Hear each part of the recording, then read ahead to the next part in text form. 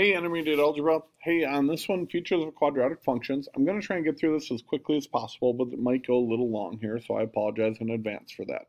So, they're going to give you quadratics in three different forms. They're either going to give it to you in graphing or vertex form, they're going to give it to you in factored form, or they're going to give it to you in standard form.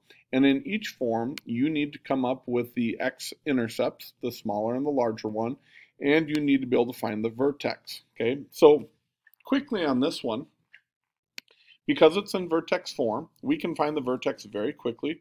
Remember, it's the opposite of this and this number. So the opposite of negative 3 is positive 3, and then we have 25. So vertex form gives us that very quickly. Now, to come up with our larger and smaller values for x, it's pretty simple. So we are just simply going to solve this. So the first thing I'm going to do is I'm going to take and I'm going to subtract 25 from both sides to get it away from this part of it right here. So you can see I'm going to write that right here. I subtracted 25 from both sides, so I have negative, parenthesis x minus 3, parenthesis squared equals negative 25. Then I'm going to multiply both sides because I don't want this negative in front. So I'm going to multiply this side by a negative, and I'm going to multiply this side by a negative. And as I do that, I get x minus 3 quantity squared equals positive 25. Now, because I'm in this form, how do I get rid of this squared sign? I need to take the square root of this side, but whenever I take square root of this side, I need to do the same for this side. So on this side, the square and the square roots will cancel, so I've just simply got x minus 3. And by now, you should know that the square root of 25 is both the positive and the negative value of 5. Now, final step, how do you cancel out negative 3? You add 3. When I add 3 to positive 5, 3 plus 5 is 8 for here. And when I add 3 to negative 5, I get negative 2. So my smaller value is negative 2, my larger value is 8. All right, let's do the next one. Okay, so we're on to the next one right here. This one you'll see is in standard form. This is the hardest form because it does not give you the vertex and it does not give you the intercepts. And there's two ways of solving this. I'm going to encourage you to do it my first way, but I will show the second just to be there. The first thing I would do with this is I'm going to factor it. What are two numbers that multiply to make 60 but add up to make 19? Hopefully you came up with, well, that would be 15 and 4. 15 times 4 is 60, but 15 plus 4 is 19. Then I'm going to do my zero property product where I set them both equal to 0, and I solve, and t will end up equaling negative 4 for this one, and t will equal negative 15 for this one.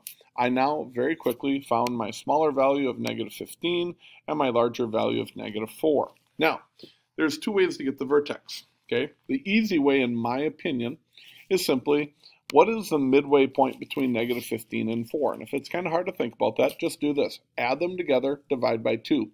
Negative 15 plus negative 4 is negative 19 half of negative 19 is negative 9.5. So I'm simply going to take negative 9.5, I'm going to plug it in for t here, I'm going to plug it in for t here, because that's the x coordinate of my vertex.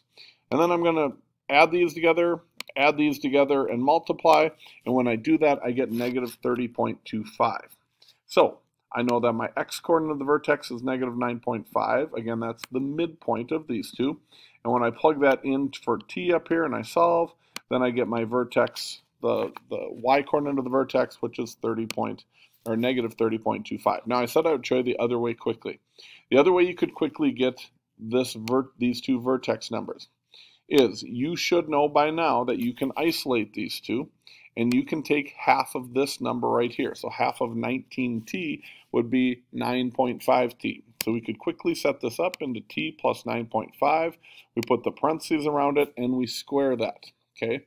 Now, when we do that, 9.5 squared comes out to be, oh, it's like negative, or came out to be like 90, what was it, 90.25. Well, if I'm adding 90.25, then I also, to keep it fair, have to subtract 90.25.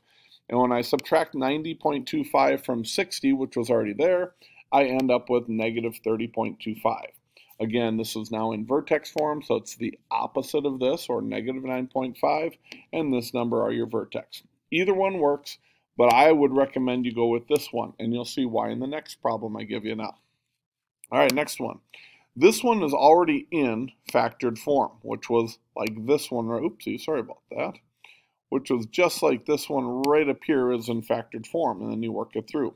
So from this factored form on this one, I know I can apply zero property product to get negative 3, zero property product to get negative 10, and those happen to be my two uh, x-intercepts. By the way, if you look at this, I put those in incorrectly. It should have been negative 10 for the smaller and negative 3 for the larger. So I apologize.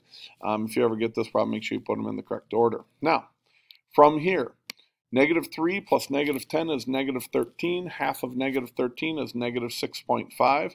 So I'm going to simply plug in negative 6.5 for both of my x values right here. And then I'm going to add these two together. I'm going to add these two together. When I do that, I simply get a negative 3.5 for this side. I get a positive 3.5 for this side. I'm going to multiply it. A negative times a negative is a positive. Positive 3.5 times positive 3.5 turns out to be 12.25. So this right here is my x coordinate for my vertex, and this right here is my y coordinate for my vertex. So I plug those in right there. Hey, that's how you do it, guys. Sorry this one took a little over six minutes, but hopefully you understand it now. Have a great day. We'll see you on Google Hangouts. Bye-bye.